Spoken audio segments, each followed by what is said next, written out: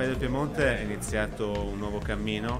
Il nuovo cammino parte da un'analisi del territorio, per questo abbiamo commissionato un rapporto, eh, quindi abbiamo eh, analizzato tutti i dati sulle aziende piemontesi per comprenderne il potenziale, per comprendere il numero di dipendenti e per poter orientare i nostri investimenti per far sì che eh, le iniziative che mettiamo in atto possano produrre dei risultati proficui per la FAI piemontese.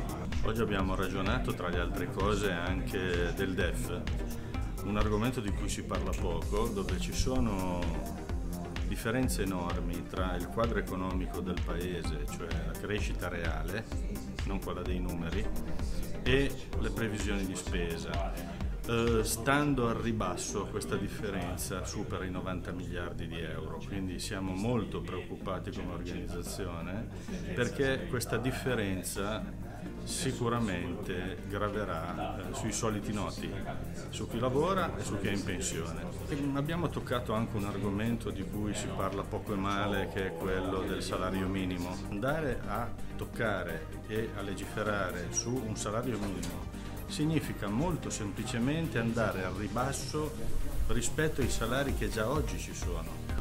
Uno dei maggiori appuntamenti che avremo nei prossimi mesi sarà quello del rinnovo del contratto dell'industria alimentare. Il contratto dell'industria alimentare rappresenta circa 400.000 lavoratori a livello nazionale e in Piemonte è una fetta importante perché ha importanti gruppi alimentari. Inoltre in Piemonte siamo impegnati a eh, rafforzare il patto associativo con i nostri iscritti ma ancora di più a far crescere l'organizzazione perché le aziende presenti nel territorio piemontese, non solo industriali ma anche agricole, sono tante e hanno bisogno di rappresentanza della FAI CISL e della CISL tutta.